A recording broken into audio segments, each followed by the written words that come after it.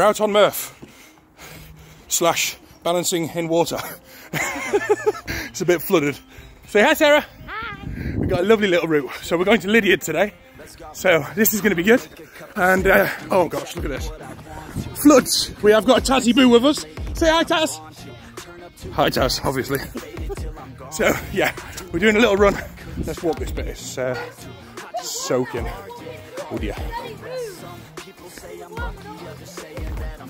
Alright, give us a second. Let me try and. I don't really want to get wet for the rest of the run. Right, let's go. Okay, if we keep going straight, we'll get to where we want to be. Right, so yeah, guys, not going to bore you with this workout. Just get the run done. I've got everybody with us. Keep us supported. Hello, doggo. Are you friendly? we found a beautiful little doggo. Look at this one. Lovely little doggo. Hello. You out with daddy, yeah?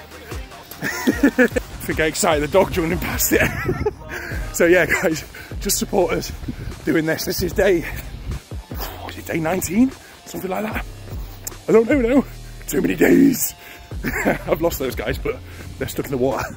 Anyway, peace and love, guys. Let's get this workout done. I'm not going to bore you with it.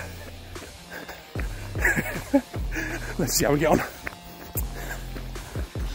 So, we're here at Lydiard now. My missus is behind, my kids ahead. So we're at the halfway point. It's definitely to be more than two miles, but I'm enjoying it. It's all good. Keep pedaling, Taz. You'll get up the hill. she struggles with hills, bless her. Do I need to keep pedaling? Having a little pause. We're at this cafe. Still got the vest, it's there.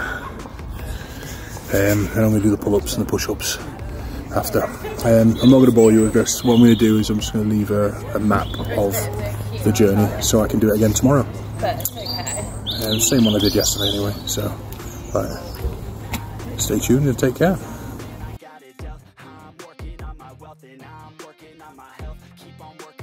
myself Cause I'm working on myself, yeah.